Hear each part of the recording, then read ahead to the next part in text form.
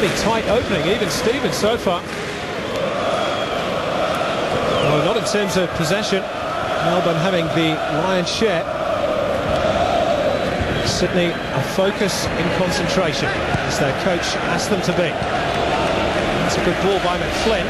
Middleby over the top of Petrosky, but Carney's header is over the top. It's a goal kick. First real chance of the game. David Carney coming in, attacking the ball. Second corner of the game. Taken short, Carney's ball in.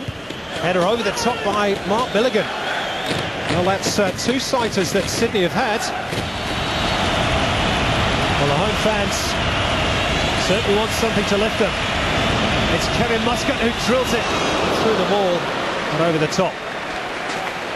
He hits it with the instep, a little bit of the outside of the boot. Just uh, the one minute of additional time. Not too much in terms of uh, goal mouth action to get excited about. That was a glorious pass though by Kevin Muscat to seek out Archie Thompson.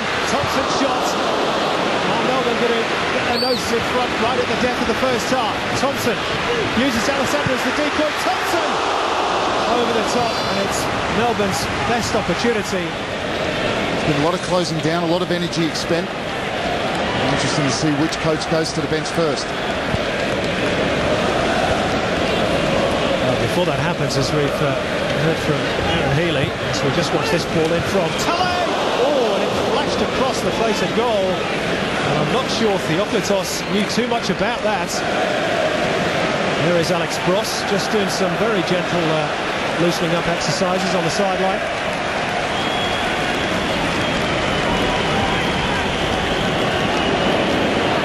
Now Fred. Oh, that's a great ball. Archie Thompson onside. Thompson!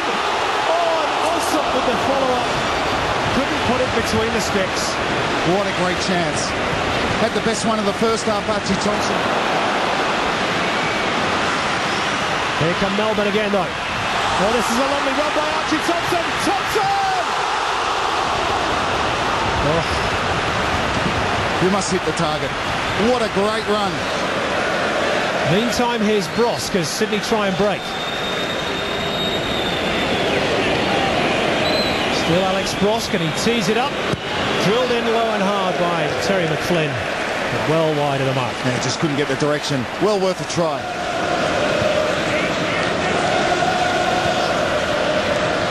Middleby. He's got away from Pantelidis. Needs a good ball in. He's got one too. Partially cleared. Picked up by Terry McFlynn. McFlynn lets fly. And again, it's over the top of the crossbar.